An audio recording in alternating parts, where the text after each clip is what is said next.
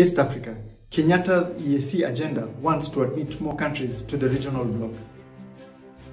Kenya's President Uhuru Kenyatta wants the East African community to expand to include Central, Northern, and Southern African states.